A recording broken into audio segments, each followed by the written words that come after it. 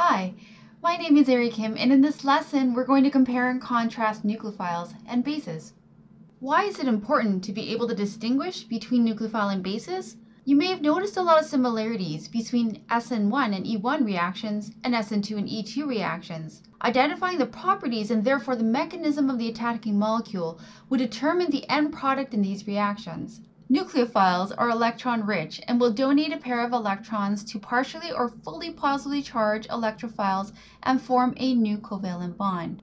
My substrate here is chloroethane, and the carbon that is attached to the chlorine will be partially positively charged, making this our electrophile. The nucleophile will attack that carbon, triggering a transfer of electrons to form our new product. So the neighboring carbon will have some hydrogen atoms.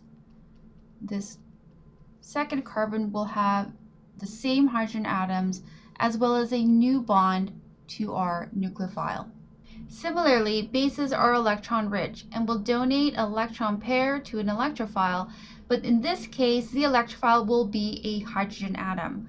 I can take that exact same substrate, which is chloroethane, and a base will deprotonate this hydrogen atom and I will again cause a transfer of electrons to create a new product which is an alkene.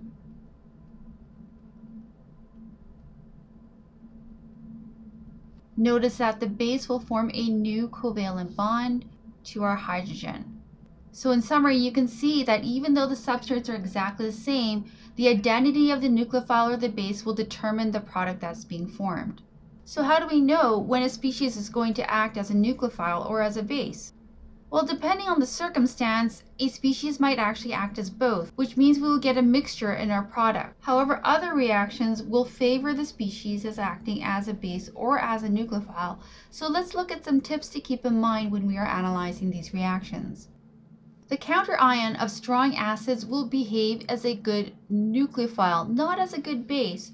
Recall that strong acids are ones that fully dissociate in solution, and good examples of strong acids would be hydrochloric acid, hydrobromic acid, and hydroiodic acids.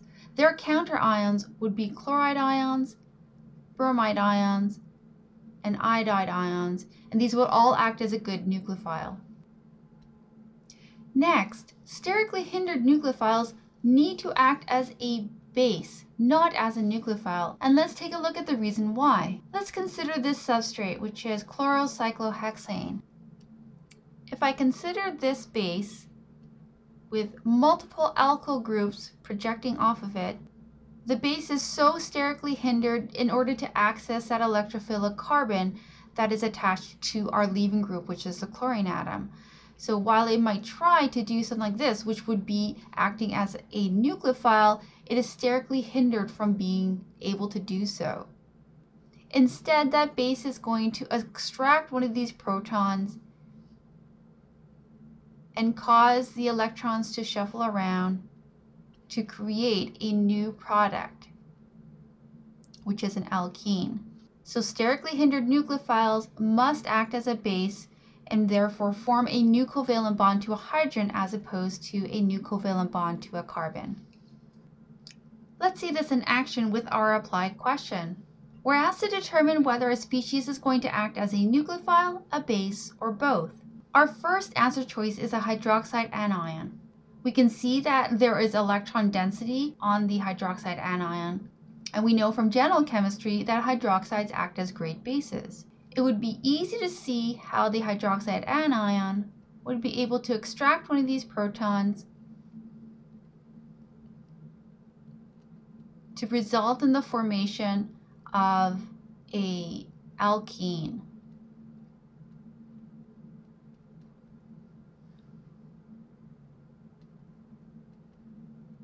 However, let's consider what else we can see with the hydroxide anion. It's really small, and so there's really nothing to prevent that same hydroxide anion to attack the electrophilic carbon that is attached to our leaving group to create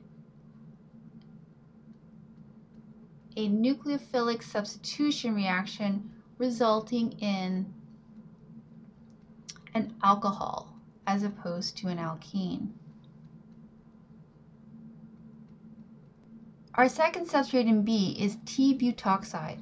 There's good electron density around that negative charge on the oxygen, and you can see that same oxygen is covalently attached to several alkyl groups, making this a bulky species.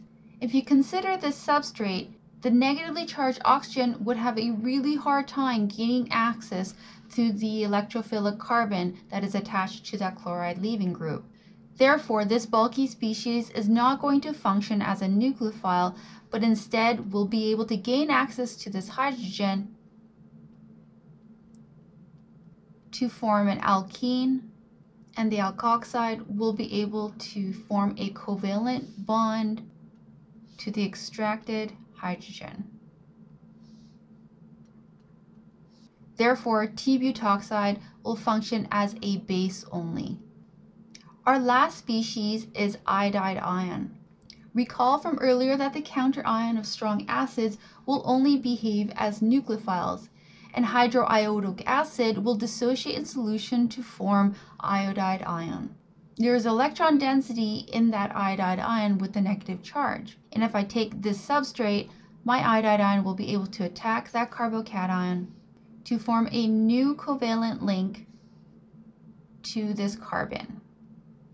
Let's also consider what would happen if iodide ion actually extracted a proton instead. Iodide ion attached to hydrogen would reform hydroiodic acid, and hydroiodic acid is one of the strong acids. It will immediately dissociate in solution to form an iodide ion again. And therefore, since the product is not stable, iodide ion will only function as a nucleophile, not as a base.